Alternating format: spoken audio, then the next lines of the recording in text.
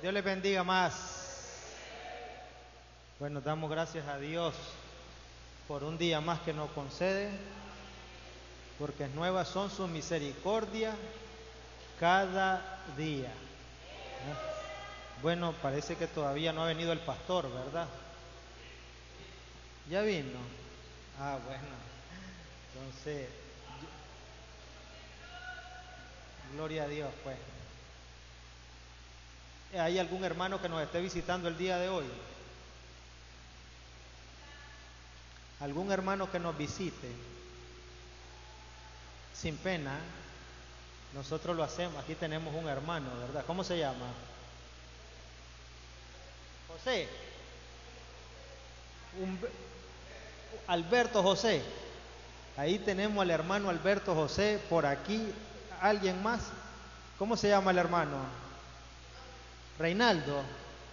Ahí tenemos al hermano Reinaldo. ¿Hay alguien más? ¿Alguien más? Bueno, si no hay, ¿cómo le dice la Iglesia Central Camino de Santidad a nuestros hermanos? Bienvenido y que el Señor le bendiga. Ya. Y las puertas de esta iglesia están abiertas para todos aquellos que quieran venir a escuchar la palabra de Dios sin adulterar, ¿verdad? La palabra tal como está escrita, sin agregarle y sin quitarle, porque a eso nos ha mandado Dios, ¿verdad? Damos gracias a Dios por todo. Ustedes, hermanos, sean bienvenidos, que la paz de nuestro Señor Jesucristo gobierne cada uno de sus corazones. Ahora oremos para que el Señor tome control de este servicio y que todo lo que hagamos sea con el único propósito de darle la gloria a Jesús, el Rey de Reyes y Señor de Señores. Gracias Señor por todo lo que tú has hecho hasta este momento, por todos los hermanos que tú has traído, Dios, Ahora en el nombre de Jesús, Señor, Espíritu Santo, toma el control de nuestras mentes, nuestros corazones. Ayúdanos a entender tu santa y bendita palabra, Señor, y que todo lo que hagamos sea con el único propósito de exaltarte a ti, Jesús, único Dios verdadero, Señor de señores y Rey de reyes. Desde ya te damos la gloria por los siglos de los siglos. Amén y amén. Pueden sentarse, hermanos. Con respecto al estudio que dimos acerca de la nueva versión internacional, hicimos un pequeño cambio. En cuanto a la reproducción del material, vamos a, a elegir a uno, dos o tres personas, ¿verdad? Al hermano Francis es uno, ellos van a tener las carpetas para copiárselas a ustedes en su memoria. Y ustedes puedan irla a reproducir a un ciber o si ustedes quieren verla ahí en sus computadoras, perfectamente pueden ver los videos, ¿verdad? Entonces, esa información se la voy a dar al hermano Francis y necesito otro voluntario porque una persona eh, es muy difícil que él maneje con tantas personas, pues entonces quisiéramos otro voluntario, ¿verdad? Para pasarle la información y ustedes se aboquen a ello para que se las copien a su memoria. Simple.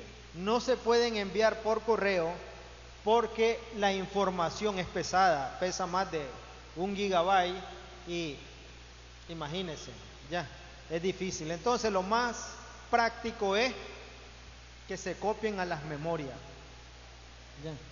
Entonces, ya saben, pues yo voy a pasarle la información al hermano Francis para que los que estén interesados en la información del estudio de la nueva versión internacional, ustedes se aboquen al hermano o con mi persona, pues. Es para hacerlo más rápido, agilizarlo, ¿verdad? Entonces ya saben, no vamos a dar ningún CD ni ningún DVD, vamos a hacerlo así, vamos a copiar la información a cada una de las memorias que ustedes traigan. Eh, la enseñanza o el tema que vamos a tratar el día de hoy es acerca de la fe. Es muy importante estos últimos tiempos, porque a medida que se aproxima la venida de Jesucristo, la fe de muchos ha ido menguando.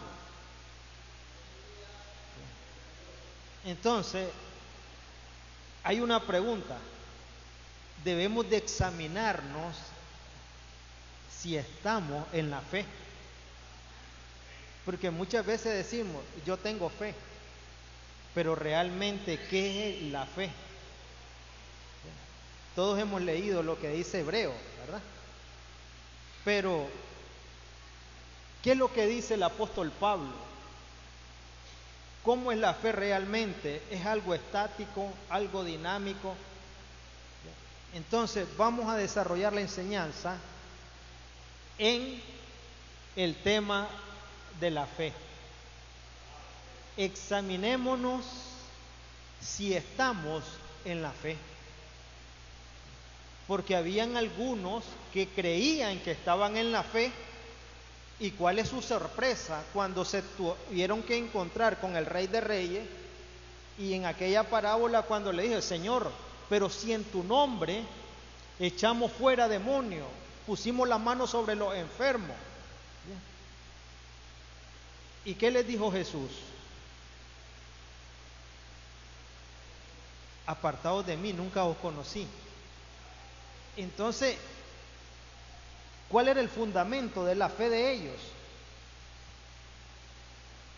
Porque ellos estaban seguros que por esa obra Jesús los iba a probar.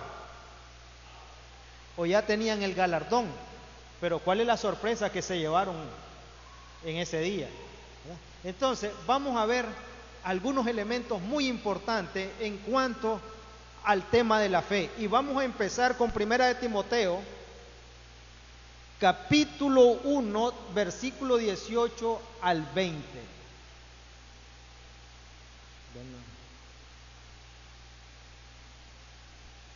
18 al 20 y dice, este mandamiento te encargo, hijo Timoteo, hijo en la fe, conforme a las profecías que antes se hicieron acerca de ti, para que milites por ella la buena milicia, manteniendo la fe y la buena conciencia la cual algunos desecharon y naufragaron en cuanto a la fe. Entre estos, y lo llama por nombre el apóstol Pablo, porque hay hermanos que ya naufragaron en la fe. Y ya nosotros debemos de tener claro de qué significa, ¿verdad? El naufragar a través, un barco se dirige a través de brújula. Entonces, si esa brújula se estropea, él pierde el curso, la dirección, porque lo que lo guía es la brújula. Entonces, lo que nos guía a nosotros como cristianos, ¿cuál es la brújula? la palabra de Dios. Es la que nos alumbra el camino, ¿verdad? Y cuando nosotros nos extraviamos de esa brújula, naufragamos. Naufragamos en la fe. Entonces, por eso es que muchos hermanos, usted los ve que empezaron, estaban dentro de nosotros, pero ¿qué ocurrió? Pero aquí decían gloria a Dios, por allá decían gloria a Dios. Jesús viene. Creían en el arrebatamiento, pero hoy ya no creen en esas doctrinas fundamentales de la iglesia. Entonces, naufragaron, andan por un camino equivocado, ¿verdad? Y ese camino los va a llevar a la perdición si no se vuelven al camino correcto. Y después dice, ¿hasta dónde es el impacto de los que naufragan en la fe? O van por corrientes o doctrinas de demonios. ¿Y qué es lo que esto provoca? Miren lo que dice Segunda de Timoteo, capítulo 2, versículo 17 y 18. Y su palabra carcomerá como cangrena. ¿La palabra de quién? De los que naufragaron en la fe. Porque los que predican la palabra de Dios son buenas nuevas, palabras de vida y esperanza, no de muerte. Pero esto lo que predican son palabras de muerte.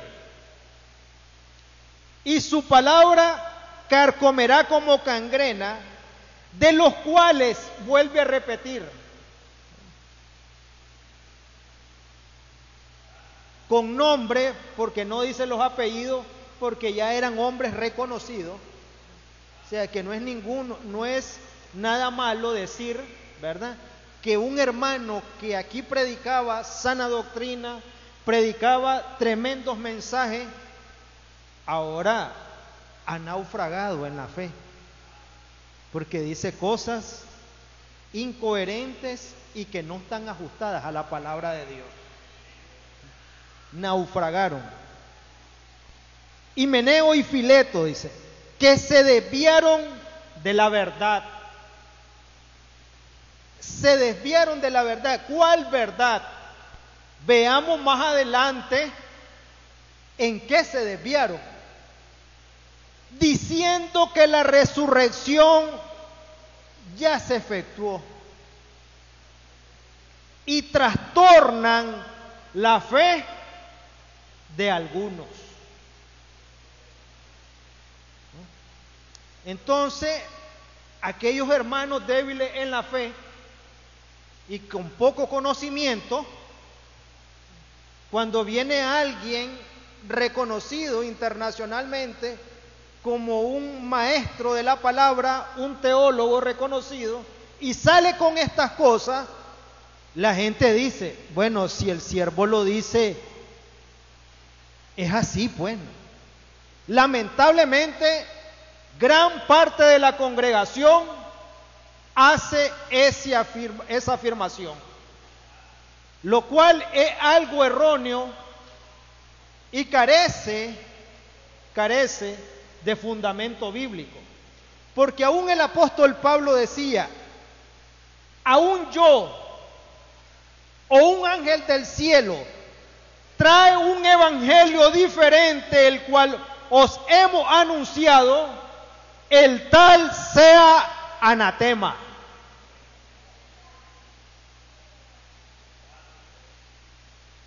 Entonces, hoy en día usted se ve, usted ve que dicen que no hay arrebatamiento.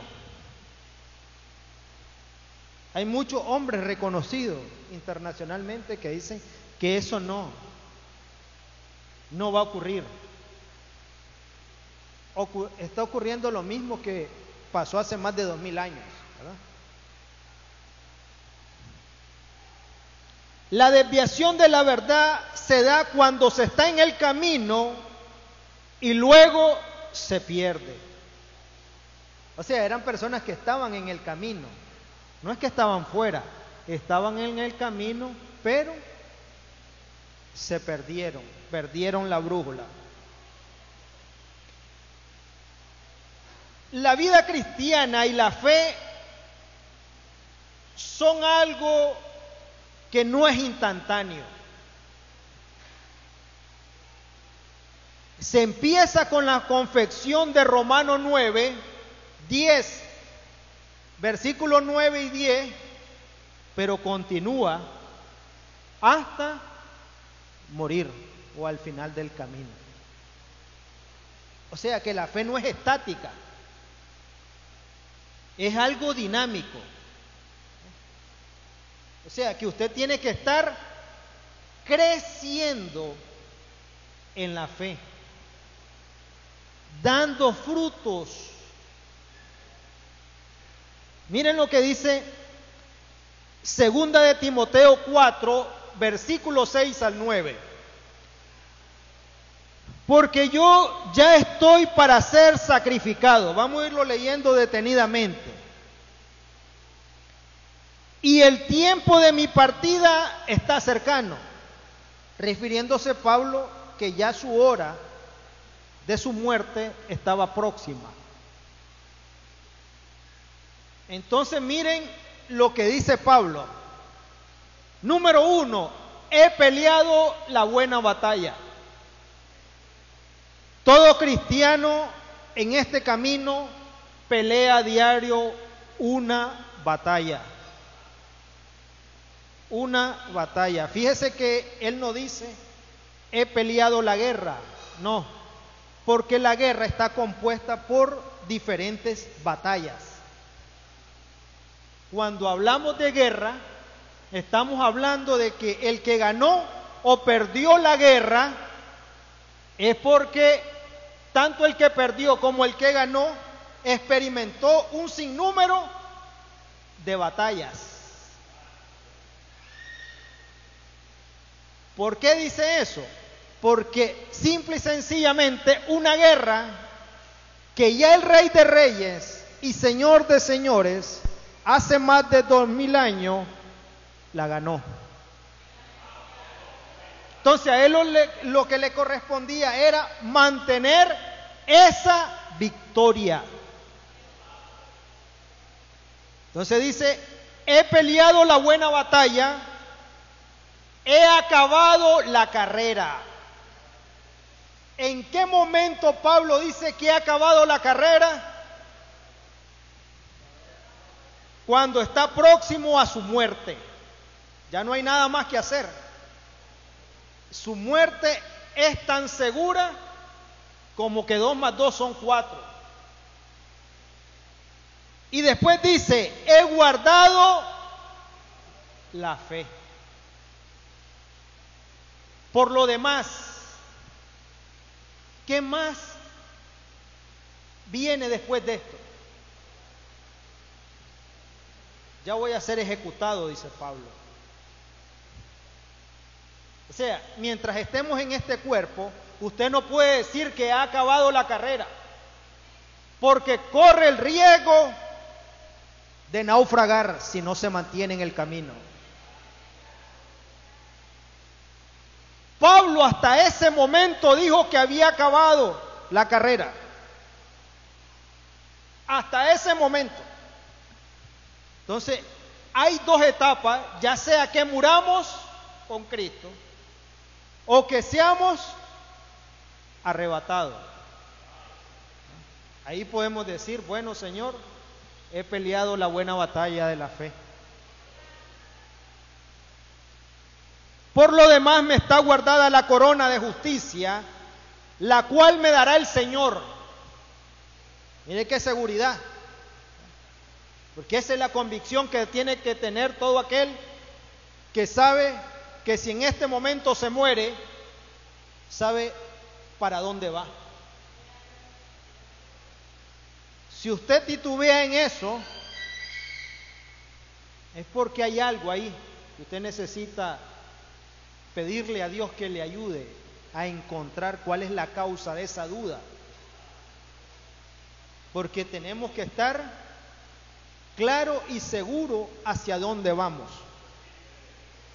Me está guardada la corona de justicia, la cual me dará el Señor, juez justo, en aquel día. ¿Cuándo? ¿Qué día va a ser ese? El tribunal de Cristo. Miren algo interesante aquí.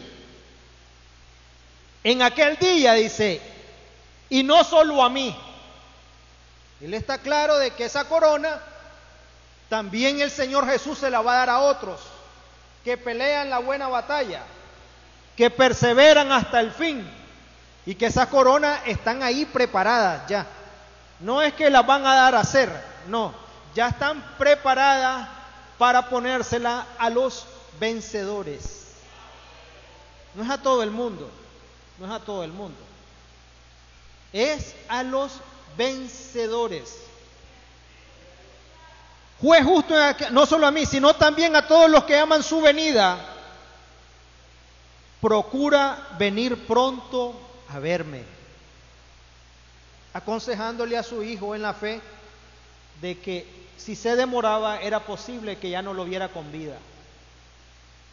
Ya Pablo estaba claro de que sus días, sus horas estaban contadas y que en cualquier momento él partía de este mundo. Entonces, ¿qué podemos aprender de este versículo, de estos pasajes? De que la fe se debe de mantener. No es algo que usted diga, no, yo ya creí y ya estoy salvo, hermano, ya estoy listo. Voy de viaje. No, no. Aún Pablo era muy cuidadoso en ese aspecto. A diferencia de Himeneo y Alejandro, ¿verdad? Que naufragaron.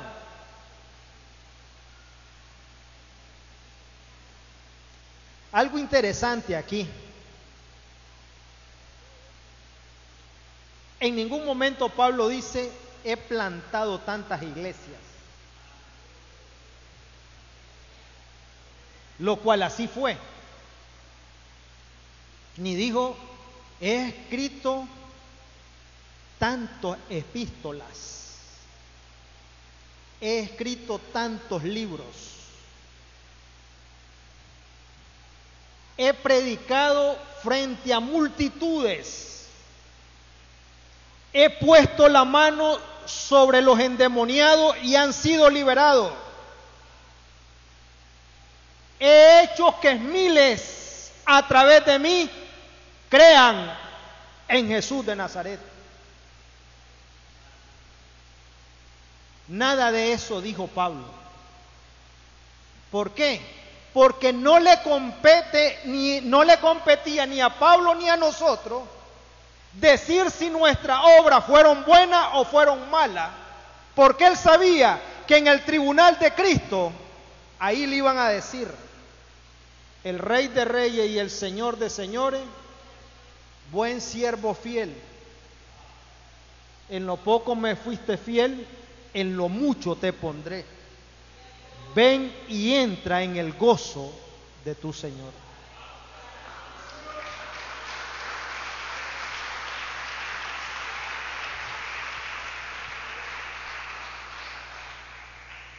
Entonces, ¿cuál fue el recuento de su vida?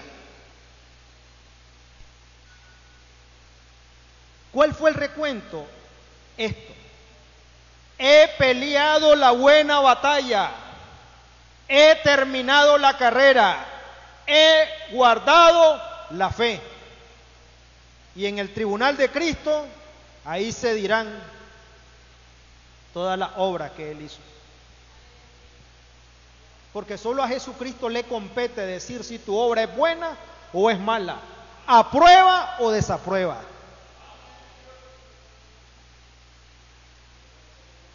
Porque Él es el único que conoce ¿Qué es lo que a ti te motiva a venir a la iglesia?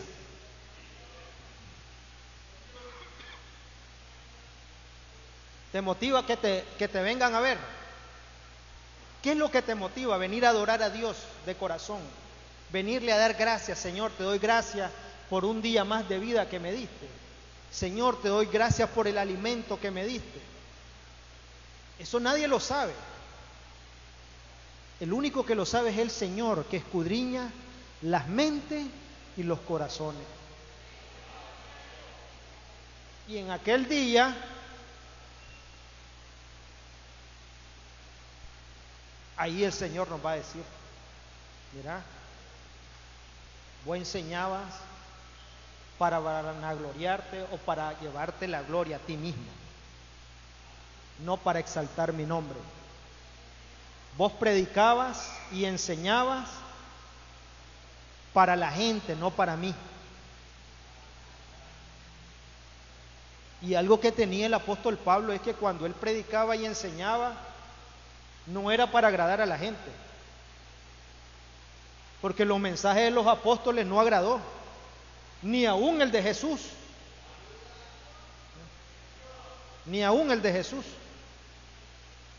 Pero estamos convencidos que es el único mensaje que te lleva a la vida eterna, aquel que te dice la verdad, que sin santidad nadie verá al Señor.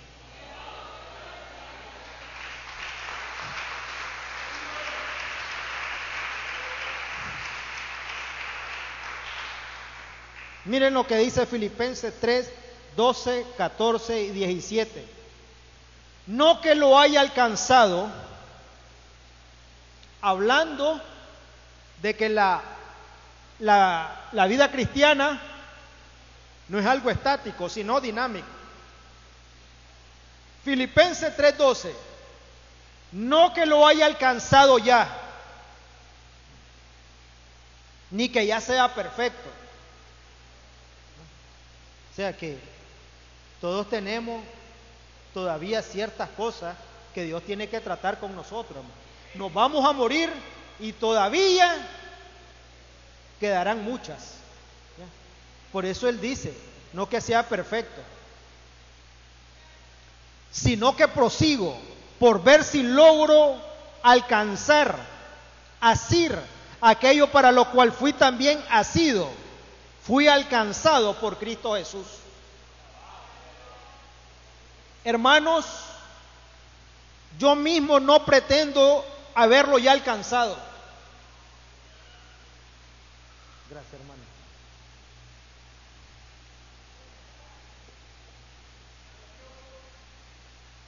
Imagínense qué humildad del hombre, ¿verdad? No pretendo yo ya haberlo alcanzado. Pero una cosa hago, olvidando ciertamente lo que queda atrás. Y extendiéndome a lo que está delante. Prosigo a la meta, al premio del supremo llamamiento de Dios en Cristo Jesús. Hermanos, sé imitadores de mí y mirá a los que así se conducen según el ejemplo que tenéis en nosotros.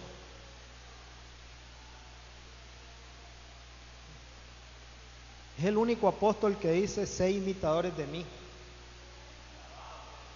así como yo de Cristo. Él llevaba las marcas de Jesús. Sin embargo, él no se vanagloriaba de sus logros.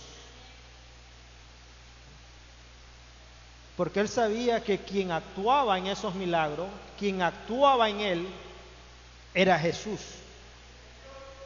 Nosotros solo somos un instrumento en sus manos. No hay ningún poder en nosotros. Si el espíritu, me, el espíritu sale, no queda nada no hay vida. Porque el que imparte vida es el Espíritu Santo. Entonces Él es el que hace que la palabra tome vida e impacte los corazones. Entonces, no tenemos de qué gloriarnos. Que se sanen tantos o vengan al conocimiento de Jesús. La gloria es de Jesús porque Él fue el que lo salvó, Él fue el quien, quien murió en la cruz, no nosotros.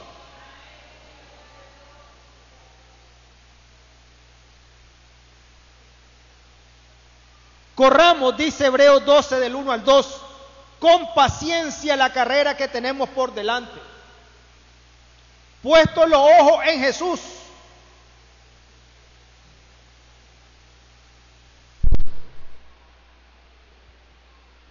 en Jesús, el autor y consumador de la fe, el cual por el gozo puesto de, delante de él sufrió la cruz, menospreciando el oprobio y se sentó a la diestra del trono de Dios. Él no miraba el sufrimiento, sino él miraba lo que estaba por delante. La gloria que le esperaba a él.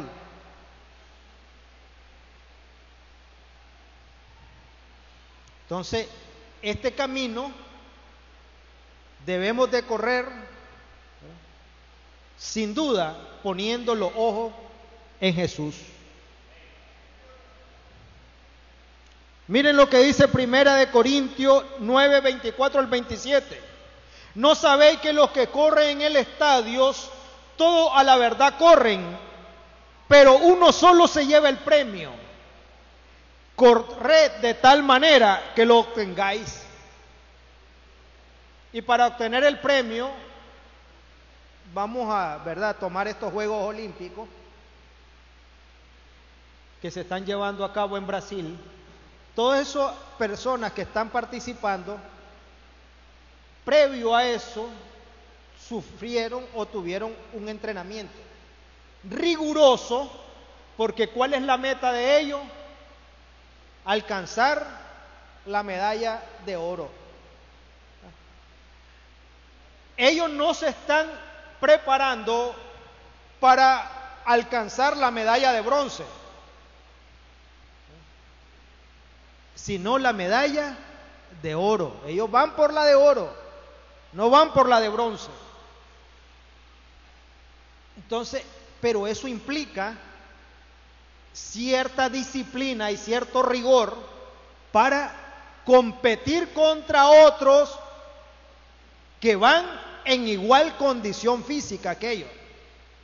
Y que se va a imponer el que mejor esté preparado.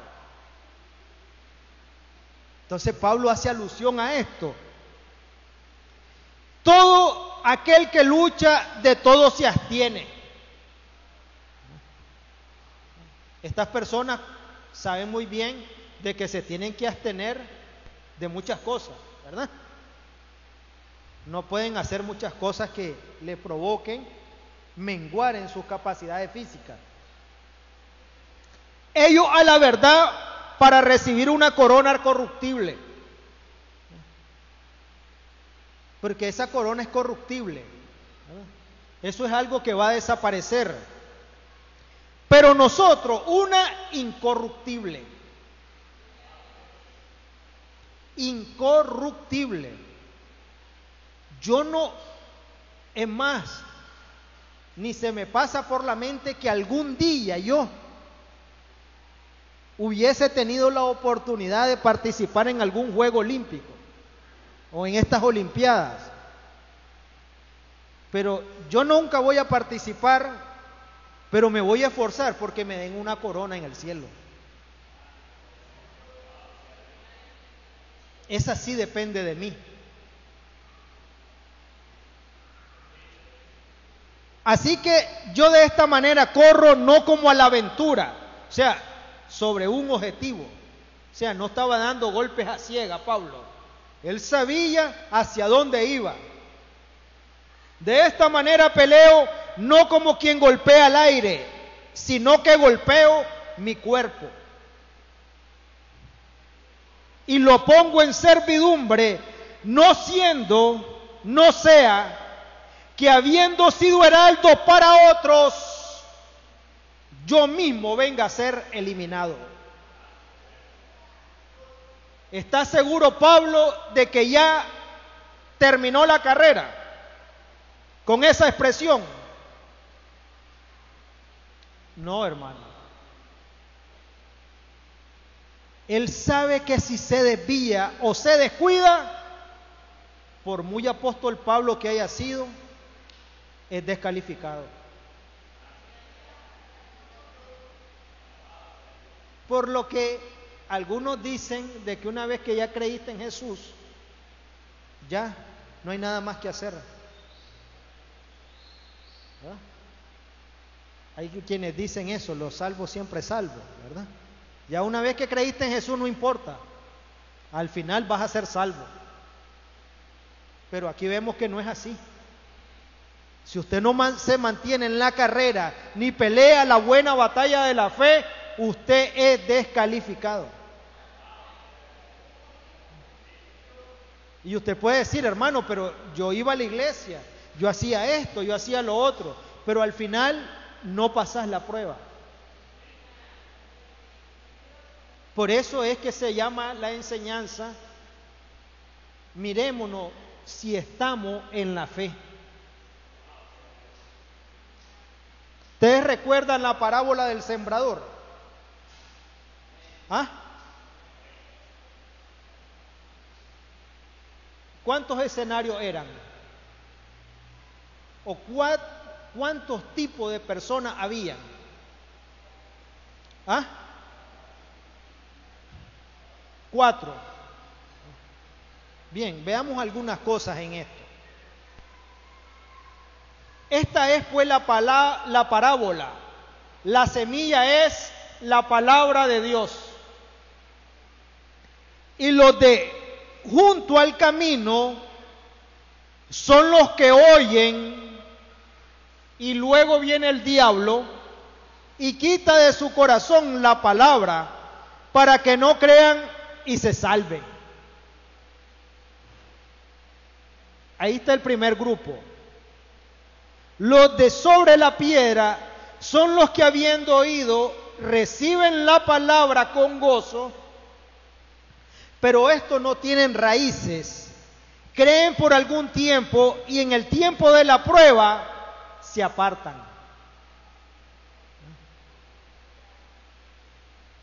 Usted ha visto esos casos, ¿verdad? Hermanos que les vienen una prueba tremenda y en vez de agarrarse del Señor, lo que hacen es que se van. La que cayó entre espinos, estos son los que oyen, pero yéndose son ahogados por los afanes y la riqueza y los placeres de la vida.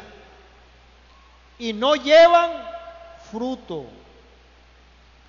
Mas lo que cayó, la que cayó en buena tierra, estos son los que con corazón bueno y recto retienen,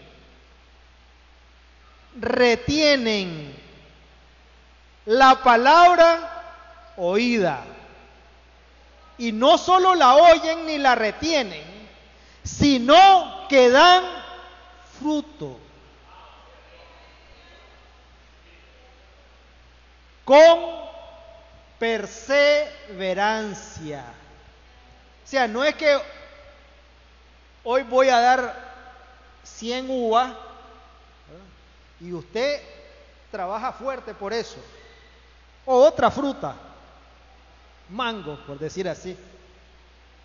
Y viene usted y dice, pero ya estoy cansado, voy a descansar. Voy a ver si consigo otra 100 la otra, el otro mes o la, dentro de 15 días. Usted lo ve que entran con ese fuego, con ese ímpetu, trabajando en la obra del Señor, pero de repente llega el tiempo y usted ya no los ve, hermano. ¿Y qué pasa aquí? Ya, ya como que guardan las herramientas para agarrar fuerza y seguir, dicen ellos. Pero aquí la escritura es bien clara cuando habla de perseverancia. O sea, que usted dio fruto hoy, va a dar mañana, pasado mañana, hasta que Jesús venga.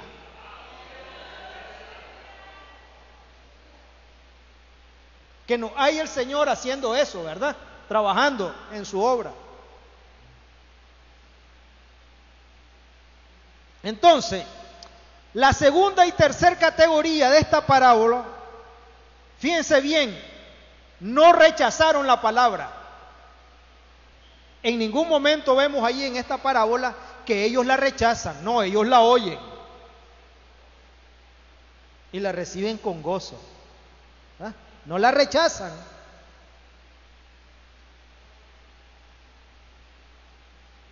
Por lo menos inmediatamente.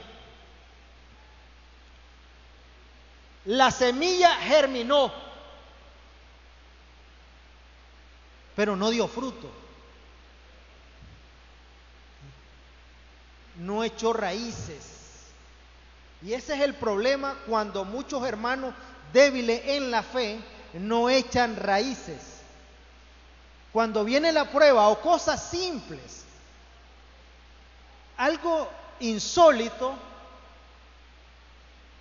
se van de la iglesia o se apartan del Señor, como que el Señor les ha hecho algo. ¿Qué pasa? Estos hermanos no tienen raíces. Son débiles en la fe.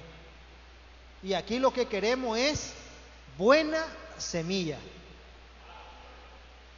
Todos los que están aquí, buena semilla. Que hagan raíces. Y cuando venga la tormenta y los azote, ustedes no se muevan. La segunda categoría creyeron por algún tiempo. Fíjense, aunque en las tres categorías la semilla germina, solo en la cuarta categoría dan fruto.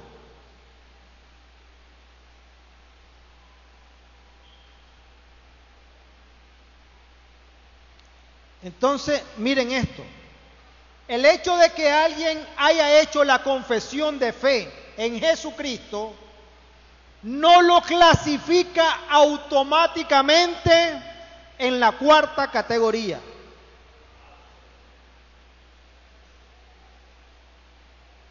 O sea, una, una, persona, usted dice, no, yo ya acepté a Jesucristo, pero eso no lo clasifica en la cuarta categoría.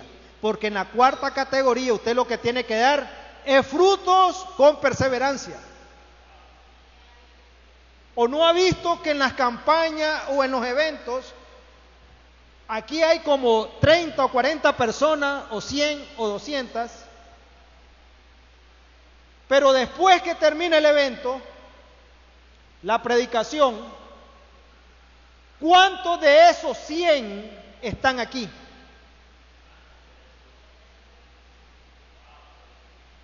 Alguien me dice, mira, nosotros hemos crecido grandemente. ¿En qué? ¿En qué forma? ¿Cuántos eran dentro de un mes? Tantos. ¿Cuántos hay ahora? Un poco más de eso. Mostrarlos. ¿Cuántos de los que están aquí son constantes? No había nadie. Todos eran esporádicos llegaba hoy uno, ¿verdad? Y allá se aparecía ya a la muerte de un obispo, ¿verdad? Que llegaba otro, se perdían. No eran constantes. Y algunos ya ni volvían. Crecimiento es cuando de 50 que tenemos, se mantienen los 50 y surgen otros. Eso es crecimiento. Los 50 se mantienen y surgen otros. ¿Cuántos empezaron con el Señor Jesús? Doces. ¿Verdad? ¿Crecieron ellos, sí o no? ¿Ah? Sí crecieron. Porque Imagínense en la primera predicación del apóstol Pedro. ¿Cuánto?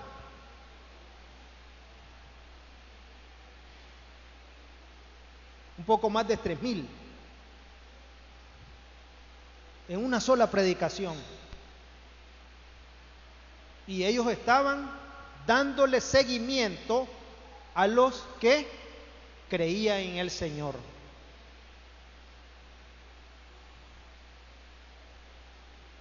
¿Cuál es el único recuento? El recuento final.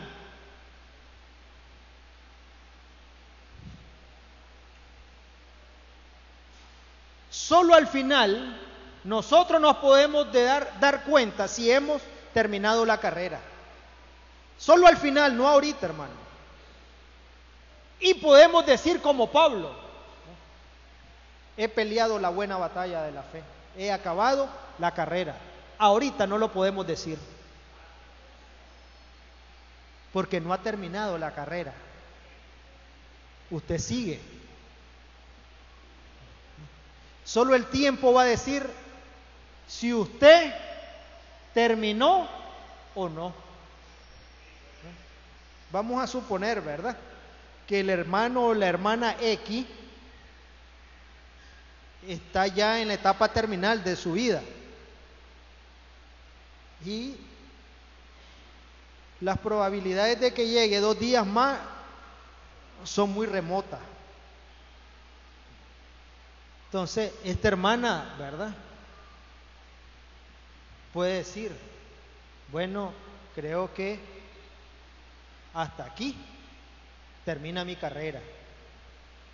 Hasta aquí he guardado la fe en el Señor Jesús, que hace más de 15 años que lo conocí, me redimió del pecado. Hasta aquí sé que cuando cierre mis ojos estaré en su presencia. Solo hasta ese momento, mientras estemos en el cuerpo, estamos en peligro.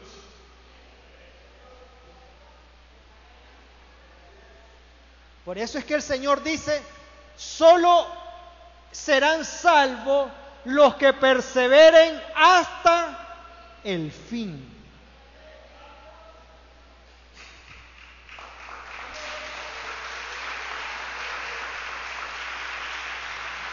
A Él sea la gloria, ¿verdad? Ya vamos a ir aterrizando.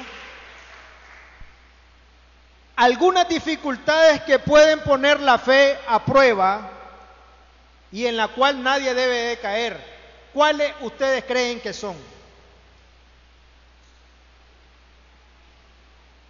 ¿Cuáles? ¿Cuál? La enfermedad. O sea, cuando nos referimos a dificultades que ponen en peligro nuestra fe. ¿Ah? La desesperación.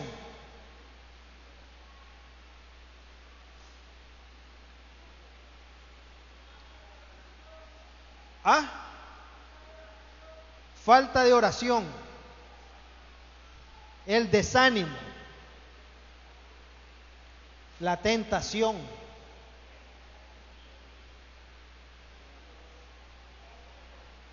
Mire, todo lo contrario, cada uno es tentado cuando de sus propios malos deseos lo arrastran y seducen. Luego cuando el deseo ha concebido engendra el pecado y el pecado una vez que ha sido consumado da luz a la muerte. Entonces nadie debe de ceder a la tentación.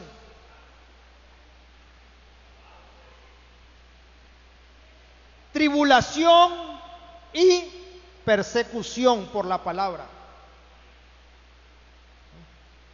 Muchas veces la tribulación hace que muchas personas pierdan su fe en el Señor.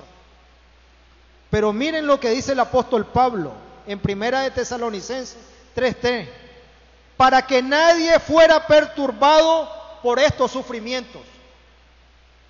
O sea, nadie se perturbe por los sufrimientos. Jesús lo dijo, ¿sí o no? En el mundo tendréis aflicciones. ¿Ah? Pero confía, dice, yo he vencido al mundo. O sea, la tribulación va a venir, pero no debemos de verlo como algo extraño, hermano, sino como parte de nuestro caminar y de nuestra ida hacia la gloria. Entonces, las tribulaciones y la angustia turban a las personas de la segunda categoría de la parábola. Ellos creen, ¿verdad? Oyen la palabra, pero cuando viene la tribulación, ¿ah? viene la persecución, ¿qué pasa? Se van. Imagínense, viene alguien y le dice y le pone una pistola en la cabeza. ¿Vos sos cristiano?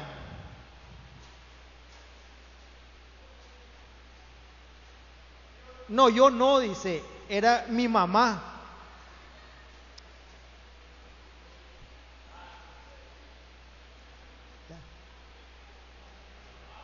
Prefiere salvar su pellejo, ¿verdad? Antes que le quiten la vida. Pero no sabe bien de que el que lo niega delante de los hombres será negado delante del Padre. Entonces, cuando la persona no tiene raíces, es fácil que pueda ser movido. Mire esos hombres en el Medio Oriente, no niegan su fe en Jesús, así los tengan que matar. Amor al dinero, codicia y decepción de la riqueza son otra causa que puedan impedir nuestra fe. Porque los que quieren enriquecerse caen en tentación y lazo y en muchas codicias necias y dañosas que hunden a los hombres en destrucción y perdición, porque raíz de todos los males es el amor al dinero, el cual codiciando algunos, algunos cristianos que codician el dinero, se extraviaron de la fe. Muchos que están buscando la gloria de este mundo, ahora te traen un mensaje diferente.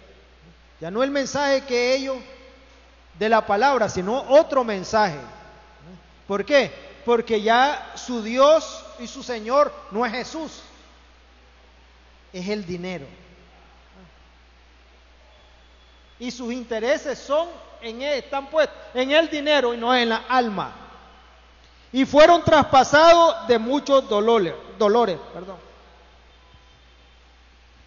Ahora, la Biblia se refiere a muchos hombres que fueron ricos, ¿verdad? Como Abraham y Job, dando esos dos ejemplos.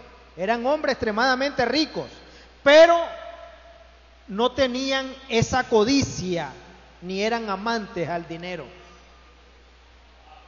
Fíjense bien la expresión de, de Job cuando lo perdió todo, en Job 1.21, y con eso voy a terminar y voy a continuar el próximo jueves. Desnudo salí del vientre de mi madre y desnudo volveré ahí. Jehová Dios, Jehová quitó. Sé el nombre de Jehová bendito.